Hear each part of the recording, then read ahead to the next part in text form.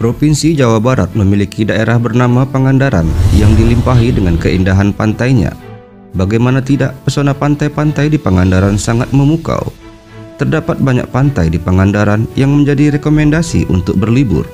Pantai apa sajakah itu? Berikut ini 5 pantai Pangandaran yang ramai dikunjungi saat liburan.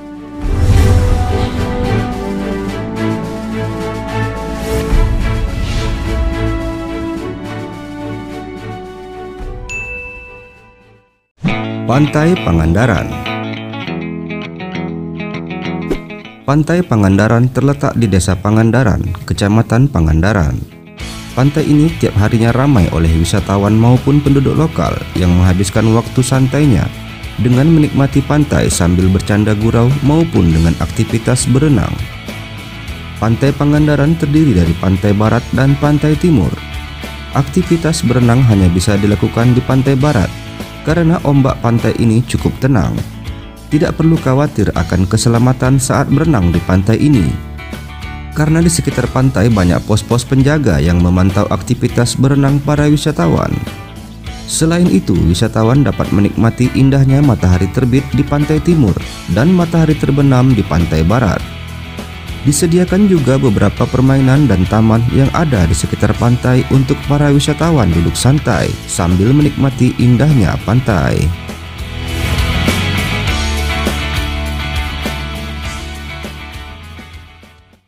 Pantai Pasir Putih Lokasi Pantai Pasir Putih sangat dekat dengan Pantai Pangandaran karena memang bisa dibilang masih dalam satu kawasan pantai.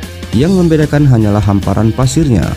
Di pantai Pangandaran, pasir pantainya coklat seperti pasir pada umumnya. Sedangkan di pantai Pasir Putih, pasirnya tersebut berwarna putih lengkap dengan karang-karang yang cantik. Untuk menuju ke pantai ini, wisatawan dapat menaiki perahu yang berada di pantai barat atau dengan masuk ke Taman Wisata Alam Pangandaran yang berada sangat dekat dengan pantai. Aktivitas yang paling banyak disukai di pantai ini adalah snorkeling. Wisatawan tidak perlu khawatir jika tidak mempunyai peralatan snorkeling, karena di sini banyak yang menawarkan jasa penyewaan peralatan snorkeling lengkap dengan guide yang akan langsung memandu aktivitas snorkeling tersebut.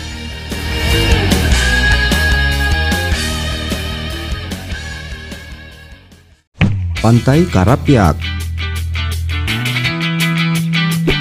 Pantai Karapyak terletak di Desa Bagolo, Kecamatan Kalipucang, sekitar 10 km sebelum pantai Pangandaran.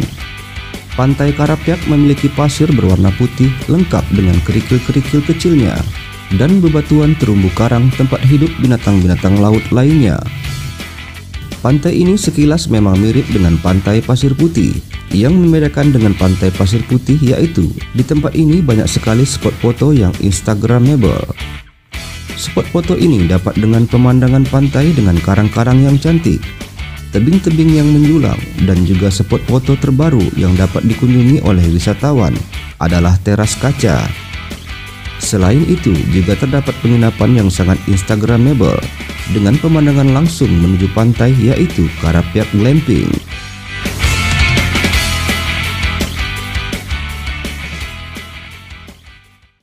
Pantai Madasari Pantai Madasari terletak di Desa Masawa, Kecamatan Cimerak, sekitar 39 km dari Pantai Pangandaran.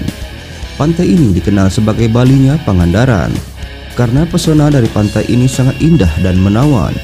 Namun di pantai ini wisatawan tidak diperbolehkan untuk berenang karena ombaknya yang sangat ganas. Namun untuk pencinta surfing, di pantai ini terdapat spot surfing yang sering dipakai oleh peselancar profesional. Di pantai ini pun wisatawan dapat berkemah mendirikan tenda sambil bercengkerama dengan teman maupun sanak saudara di pinggir pantai. Tidak hanya itu, dalam perjalanan sebelum sampai di pantai ini terdapat pacuan kuda yang pernah digunakan untuk Pekan Olahraga Nasional 11 Jawa Barat yang memiliki arsitektur yang megah dan unik.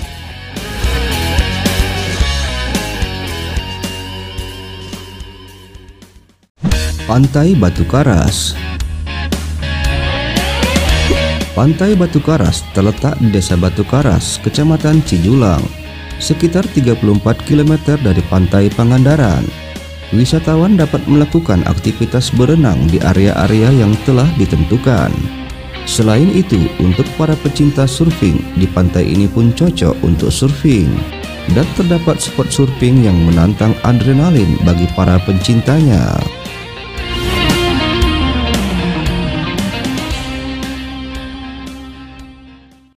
Nah, itulah lima pantai Pangandaran yang ramai dikunjungi saat liburan. Jangan lupa subscribe, like, komen, dan share. Terima kasih telah menonton. Sampai jumpa lagi.